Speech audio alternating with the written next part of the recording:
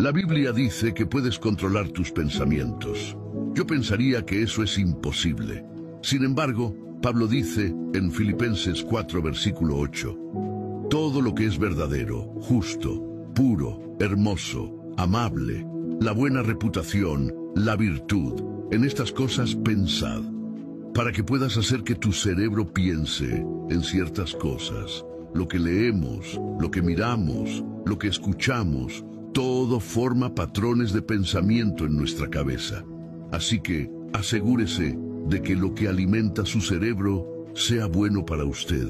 No consumas cosas negativas constantemente y luego te preguntes ¿por qué estoy deprimido? Si realmente te gusta el material bueno, positivo y poderoso y lo pones dentro de tu pensamiento, cambiarás no solo tu forma de pensar, sino toda tu vida. Toda nuestra vida se transforma al renovar nuestra mente. Dios tiene un mejor camino para todos nosotros.